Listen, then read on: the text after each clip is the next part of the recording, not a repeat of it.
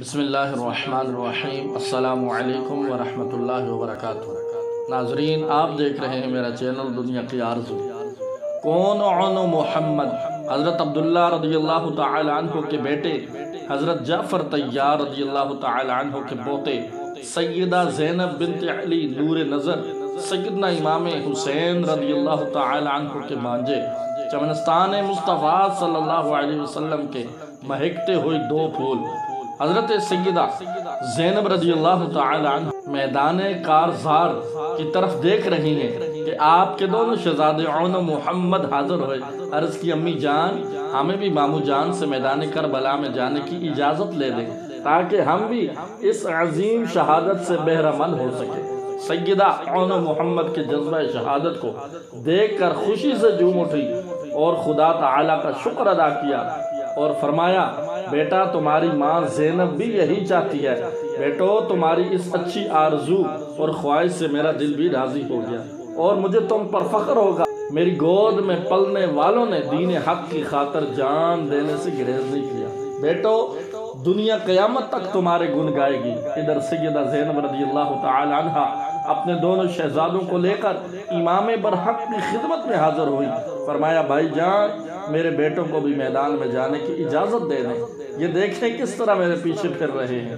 امام علی مقام، امام حسین رضی اللہ تعالی عنہ، اپنی بہن زینب کی یہ بات سن کر رو پڑے۔ فرمایا، بہن جاؤ، جا کر آرام کرو اور ان بچوں کو بھی کہو آرام کریں میں اپنی خاطر اپنی بہن کی گود خالی نہیں کروا سکتا۔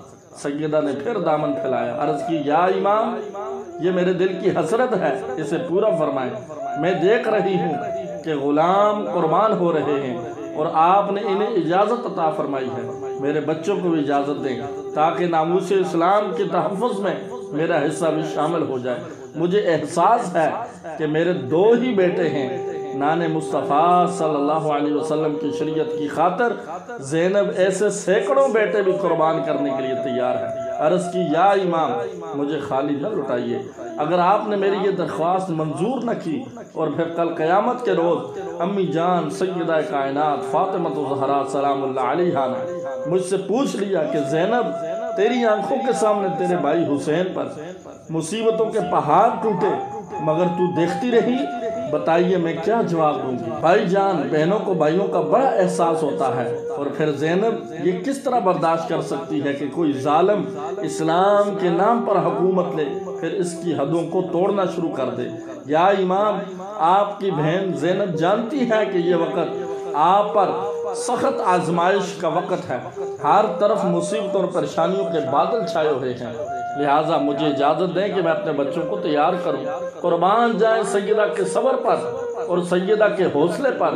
اس لیے کہ تاریخ میں بہنوں کے واقعات بہت ہوں گے، مگر زینب جیسی وفاداری کسی نے نہیں کی۔ بہنیں نذرانے کے طور پر پیسے، کپڑے یا دیگر اشیاء تو دے دیتی ہیں، مگر بچے کوئی نہیں دیتی۔ عرض کی بھائی جان، میں آپ کے سامنے سوالی بن کر آئی ہوں۔ امید ہے آپ مجھے خالی نہیں لٹائیں گے۔ اجازت دیں اور میں اپنے بچوں کی سخاوت کروں۔ سیدہ کے اسرار پر۔ امام علی مقام امام حسین رضی اللہ تعالی عنہ نے آپ کو اجازت دے دی۔ خیموں میں لے جا کر بچوں کی ظلفیں سواری اور چہرے سے راستے کا غرد و غبار صاف کیا۔ لباس بدلا، جسموں پر آلات حرم باندھے اور ہاتھوں میں دو ننی ننی تلواریں دی۔ امام علی مقام، امام حسین رضی اللہ تعالی عنہ نے پوچھا، زینب دیر کیوں؟ عرض کی، بھائی جان، دل کی خواہش پوری کرنے کے لیے۔ اب نئے کپڑے پہنا رہی ہوں۔ ماؤں کی خواہش ہوتی ہے۔ میرا بیٹا دولہا بنے گا۔ ماں خوشی کرے گی، مگر میں زینب اپنی تمام خوشیاں نانے کے دین پر قربان کرتی ہوں۔ یہ کہا اور بچوں کو رخصت کرتے ہوئے ماں کا بدن کانپ رہا تھا، دل دھڑک رہا تھا۔ سارے ارمان دل پہ ختم ہو چکے تھے۔ ماں نے آخری بار بیٹوں کو سینے سے لگایا۔ عرش کام گیا، فرشتے تڑپ اٹھے، پورے چلا پڑی۔ سیدہ کے صبر پر رش کرنے لگی۔ زینب نے اپنے بچوں کو میدان میں جانے سے پہلے فرمایا، بیٹا جاؤ، اللہ کا نام لے کر، مگر یاد رکھنا، یہ سر کٹ تو جائے، مگر باطل کے سامنے جھکنے نہ پائے۔ بیٹو، جاؤ، میں نے تمہیں اپنا دودھ بخش دیا، اور ان کوفیوں سے پانی نہ مانگنا اور نہ ہی رحم کا سوال کرنا۔ جب تیر اور تلوار لگے تو تلاوت قرآن کرنا۔ فرمایا، اب جاؤ اللہ کے سبود گھل کے مختل دے ول دوویں لختے جگر کیا زینب نے تیرا خدایا شکر۔ میری محنت دا اج مینو ملیا سمر میری اولاد ویران دے کم آ گئی۔ اور جب انہوں محمد رضی اللہ تعالیٰ عنہما مقتل گاہ کی طرف نکلے تو یوں معلوم ہوا، جھوم کر خیمہ سے نکلے جگمگاتے دو ہلال۔ دل میں حلم مصطفی حیدری رخ پر جلال۔ مینا کی صورت لشکر آدھا پہ برسے گا زوال۔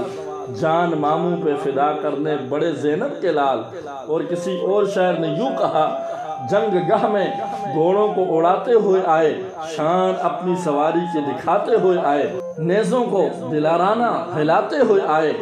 اندھیاں، سوئے ظالم بتاتے ہوئے آئے۔